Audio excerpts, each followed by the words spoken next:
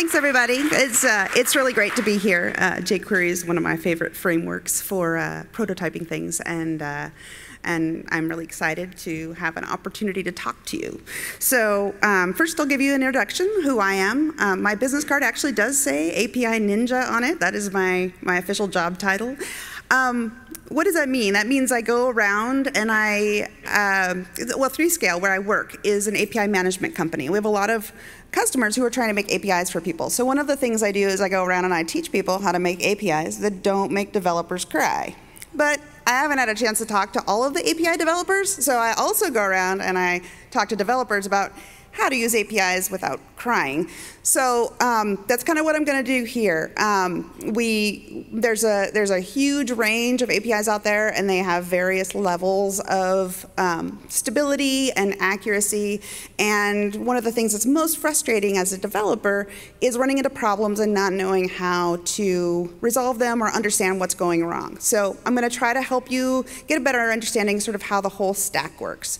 I know that some of you in this room are probably quite familiar with um, HTTP APIs or REST APIs. Um, so one of the things that I'm going to provide for you, which is really valuable, is you probably have people where you work who aren't as familiar with REST APIs. So I'm going to try to give you some language that you can use to help them understand what an API is, how it works, why it's important, and you know why it causes more vulnerability because you're relying on somebody else's service. So I, I, was in the API team at Netflix. Um, I was in the API team at LinkedIn, and now most of my job is is uh, is developer education, trying to to help us all come up with good best practices and um, on the producer and consumer end. Uh, I am a language polyglot. I I would say JavaScript is probably my fifth best language, but, um, but I love all languages. Really what I want to do is I want to help people get past things that frustrate them and help them reach success and create awesome things. So this talk, I'm going to give you a quick overview of HTTP. It'll be pretty basic for some of you, and some of you, as it turns out, what I discovered when I was helping do API support for developers is that um, there are a lot of really fantastic developers who are amazingly great at Java or other compiled languages and haven't had a lot of exposure to how web things work together. And so they, they'd say, I installed this library and I asked for a profile and I didn't get anything back. What's up? And I said, hey, so what did the HTTP traffic look like? What were the headers? And they're like, I, what? The, the what? The, I, I don't know what you're talking about. So it occurred to me that, it, you know, making the assumption that everybody has the same framework, has been working with the web since 93 and, and is totally up on, you know, what we're building on, uh, isn't fair and it's, and it's not reasonable. So I'm going to kind of build that picture for you. So again, if you don't understand how it works already, you'll understand it better. And if you do understand how it works, you'll be able to describe it to other people so that they can let you get your work done. Uh, so, and then I'll finish up with some debugging tips and techniques, how you can how you can get the API to tell you why it's not working when it's not doing what you want it to do. So if you want to play along, um, I'm going to be showing how you can trace HTTP traffic and what that means, what the pieces of the HTTP traffic are. Um, HTTP Scoop is my favorite sniffer, although they uh, they didn't, they, they, they, were having some problems recently, so if you can't find them, uh, you can use Wireshark, which is uh, not listed here because it is the ugliest ever uh, UI, but it actually is one of the best sniffers. It, it's just really, it, it can be really uh, intimidating because it shows you a lot more stuff than you need. But um, Wireshark is there. If you have a PC, Fiddler is a fantastic tool to use, and it'll, it'll it actually uh, also watches SSL traffic. Um, so uh, if you want to sort of play around with it while I'm talking, totally cool with that. I do that all the time in talks too, so, so I won't be insulted. Um, so let's get started and talk about what does an API need to be complete. Um, you may have heard people talk about CRUD, create, read, update, and delete. Those are really the four things that any API system needs to have in order to be reasonably useful. And one of the fantastic things about HTTP is that it sort of has all that stuff incorporated in it, even though it's only a communication protocol. And so it was easy to layer on top of that and make REST APIs, or as some people are now calling them, HTTP APIs, uh, to get away from the Roy, Roy Fielding um, uh, religion discussions that people tend to get caught up in. So, HTTP. It's the Hypertext Transfer Protocol. It's the language, uh, the protocol that your browser uses to talk to web servers. Um, it, as I said, it supports verbs for the CRUD operations, so get, put, post, and delete. And it also supports um, query parameters so that you can add more information to the request um, after defining which exact resource it is that you wanted to use. And you can mess with the headers as well to give a little bit more context. So we're going to go off into one of my story things where I describe. Uh, so this is my Starbucks iced tea. I order it every day. Um, it's the same all the time. It's a Trenta black iced tea, extra ice. Um, so let's when you're trying to describe to people what APIs are, a lot of times they don't understand what a resource is. It's very meaningful to people who are programmers, not so meaningful for people who haven't worked with them before. So resource ID is just a name. It's a name for a thing. So it's iced tea. HTTP verbs. So I'd like to order an iced tea. That's, that's a post. I've created a new order. Um, can you read my order back to me? Because that's a get. Um, actually, I want to change it, make it larger and unsweetened.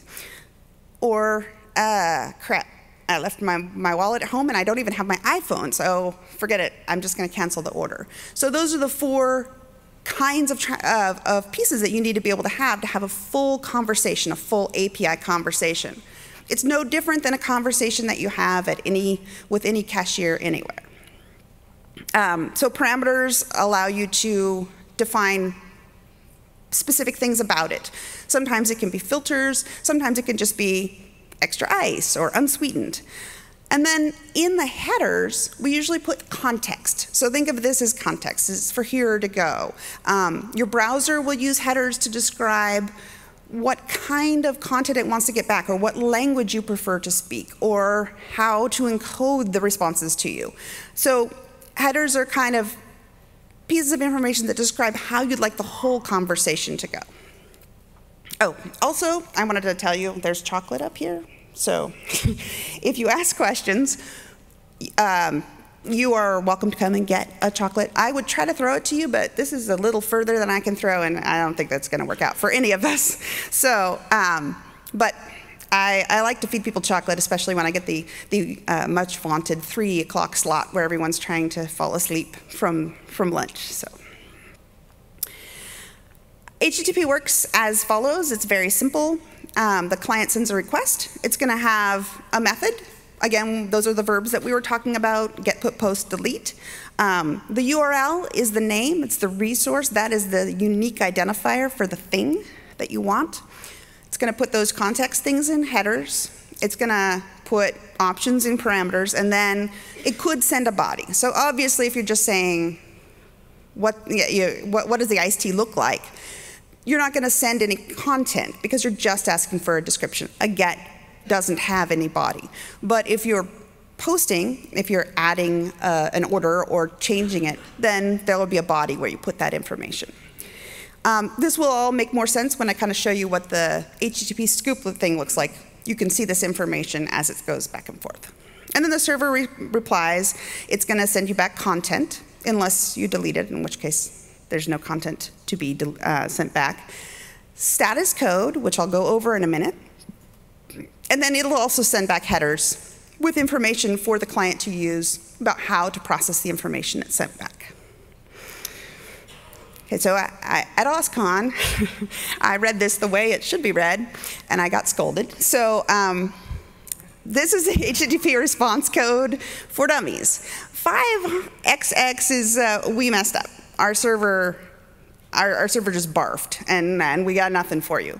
Um, that actually can be useful for you even, you know, even if it's the server's fault, if you simplify the request, you may be able to find a way to get it to not barf, but you're not going to get a lot of useful information. It just, the server's like, I have no idea.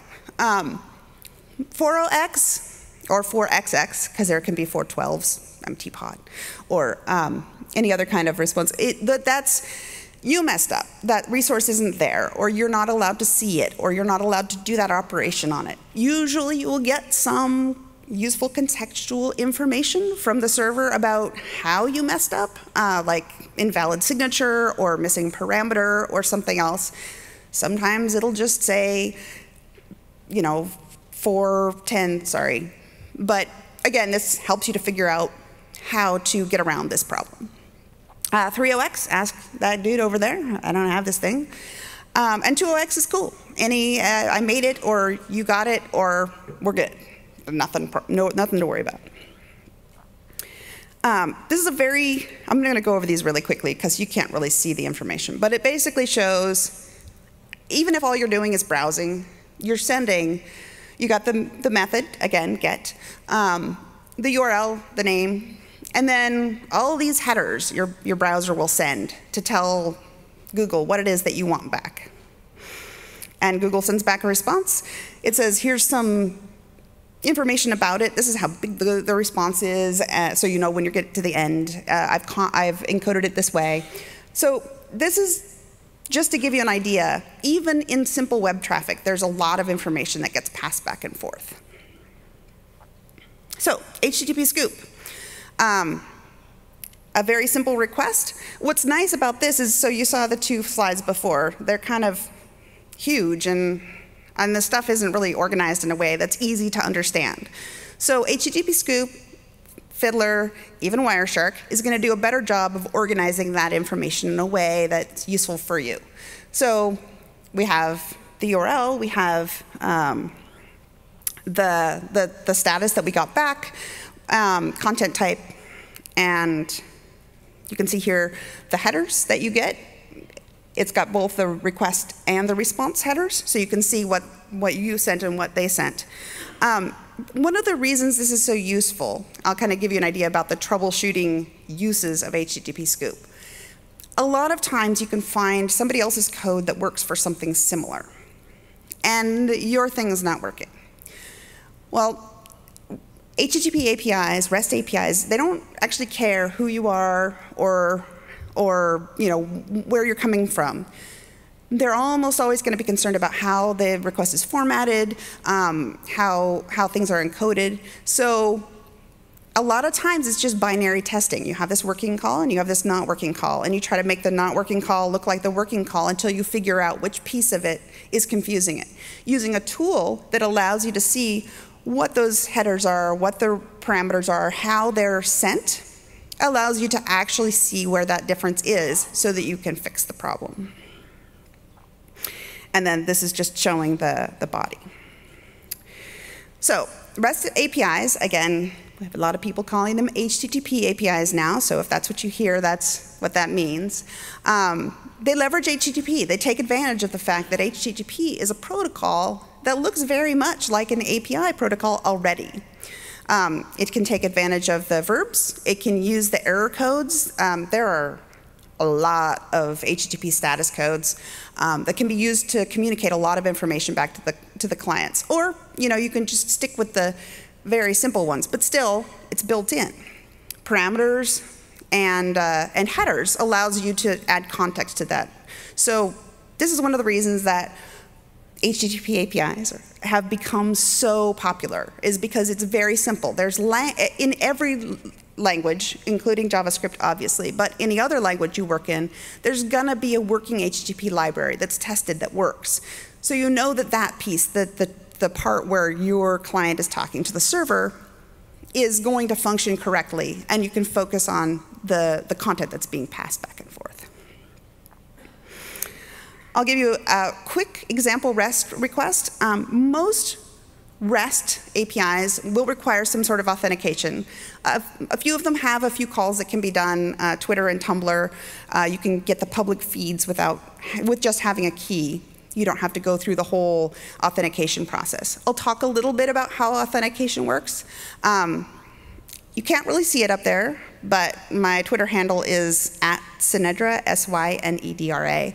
Um, if you have questions about anything, including uh, or especially authentication, I am happy to answer those questions offline, um, so you don't have to ask them here. Um, but basically, the, the authentication information is going to be passed as a parameter or part of the header as context for the conversation that you're having with the server. But Tumblr allows you to grab stuff with just the API key. So now I'm making a functional request. We've got the name. You can see, you may be able to see, but my, my API key is the only parameter I'm sending there. Um, I'm not sending very many headers. I'm getting a few back. Very simple. And it just looks like this. It's JSON. Super simple. Um, most REST APIs do use uh, J, do use JSON. Um, we still have some people who use XML. It does a better job with attributes on the pieces of information, uh, but JSON is tidier. It's easier for me to read, um, and uh, it tends to work well for REST HTTPs. Again, for authentication, OAuth is the industry standard. Um, here's where I'm going to start telling you something that I'm going to repeat a few times, which is use existing libraries for authentication or for anything else that you can. Um, you may think, this is great. I see the OAuth spec. I can write my own library. It will work great. Um, it probably won't. Um, and, and you probably have better things to do with your time than try to rewrite an OAuth library. Um, there are a lot of very fussy pieces. Uh, if, if the same parameter shows up more than once, uh, then they have to be alphabetized by the value. And anyways, use existing libraries. Um, this is not a great place to reinvent the wheel, and there's great libraries out there for this. Um, and as I said, it's either passed in the headers, which is which is easier in the long run, or parameters, which is, which is easier for prototyping. A lot of uh, vendors allow you to do either one. Um, I tend to use parameters for prototyping and then try to get into the header if I can. Okay, so troubleshooting API calls. You've started working with an API and it's not doing what you want it to do and you're frustrated. So the first thing is HTTP Scoop or Fiddler or Wireshark to understand what's happening in your calls. Find a call, and it doesn't even need to be in the same language. The server doesn't care what created the call. So maybe you go find a PHP library that makes the call that you want to make, and you use HTTP Scoop and you watch that traffic. You look at the content, you look at the headers, you look at the parameters and see how they're being sent. You compare them until you get it as close as you possibly can. You'll find where the problem is. This transparency is one of the things that's amazing about HTTP APIs. Historically speaking, we used to have libraries, we'd install them, and then they would be like a black box. We'd have no way to tell what was going wrong. But you have the power to do this. You don't have to wait for someone else to, to solve your problem, and you can get past it. Um, a lot of times you put a, uh, an apostrophe in there and it's not encoded correctly, or there's some foreign character you're using UTF-8. So make a simpler request try to figure out how, where, where is it breaking? Um, there are tools such as RunScope, which allows you to interact with an API using uh, a web tool, which is fantastic. John Sheehan did a great job on that. Um, a lot of APIs actually have a console or IO docs, which are sim similar. They're explorers, so you can see what the request looks like, the content and the headers, and what the, what, what the response should look like. And if all else fails, ask questions. Good API is going to have a forum or they're going to have some way for you to interact with the people who are supporting the API. However, I can tell you that as the person on the other end, a lot of the time what happened was people would say, this broke. It's broken. And I didn't know what they were trying to do. I didn't know what they had, what they had, what their call was. I didn't know what they expected to happen. I only knew that something had happened that, that was unexpected. So in any API request or any support request, you want to always say, I did this exact thing. I expected this exact thing to occur. And to my dismay, I just want to put that in there because it's kind of funny and it makes them laugh, and then, then, then they'll be more inclined to help you. Z, this other thing occurred instead. So to give you, and most people think, well, why do I need to tell you what I expect to occur? It's obvious. Okay, so, so I have my, my favorite example. I jumped off the cliff. I expected to sprout wings and fly. To my dismay, I plunged to my death instead. Okay, so there's not actually a bug in gravity. My understanding was incorrect. It was not correct. And as a, as a client, as a user, you need to realize that if your understanding of what the API does is incorrect, that's not a dig on you. It's probably a problem with the documentation. They should have set your expectations correctly.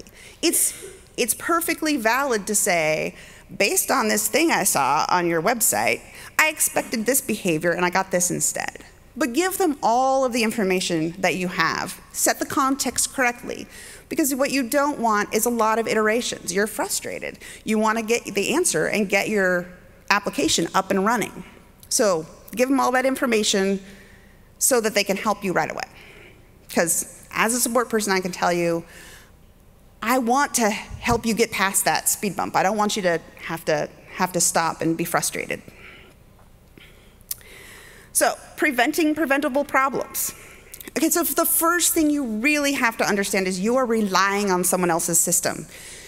You can't make the assumption that it's going to be stable or always work or or anything. You much you have much less power and control and you can rely much less on them working all the time. So you need to really code defensively. As I said, you want to use existing libraries, existing code, find sample examples, uh, example code that does similar to what you want to do, and, and start from there. Um, test defensively. Um, don't assume it's always going to work the same way every time. Their server might crash. Your client should handle that gracefully. Um, one of the things that's super useful um, for you to do is log errors that you get or log the transactions that you get because in, in, a case like LinkedIn, they have millions of calls a day. And when you say that something is broken, they can't go look it up. But if you have information about exactly what you sent and exactly what you got back, that'll help a lot in debugging what happened. And test frequently, always. So um, that's my talk, and I will be happy to take questions and give chocolates. You don't even have to ask a question to get chocolates. I know it's been a long day, so um, and I got a lot of chocolates over there at Godiva. So um, I am Synedra on Twitter. I am happy to answer any questions that anybody has here after the talk, or send me a tweet. Uh, you can send an email to me at kirsten at 3scale.net.